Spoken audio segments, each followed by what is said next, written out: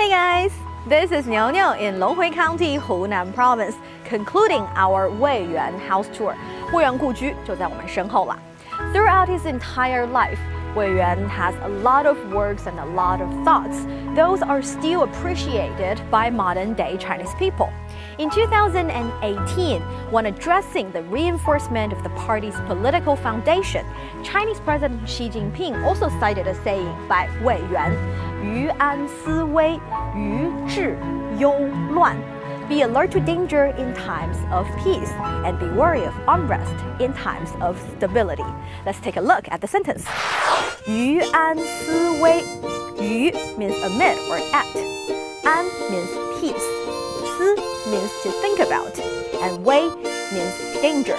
Together, 于安思危. Be alert to danger in times of peace. 于治忧乱. Yu again is amid or at. 治 means times of stability. 忧 means to worry about, and 乱 means unrest. 于治忧乱 be wary of unrest in times of stability.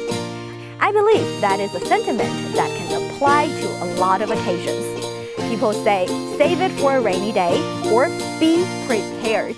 So, is there an occasion in your personal life that you can use the sentence 于安思危，于治忧乱"? Share with us in the comment area.